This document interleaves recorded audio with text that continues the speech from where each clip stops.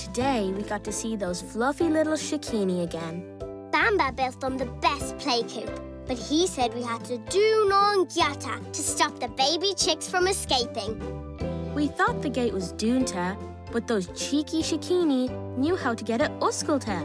So we kept having to pull the gate, Oscailte and Dúnta, Oscailte and dúnta, all day. Slán! Slán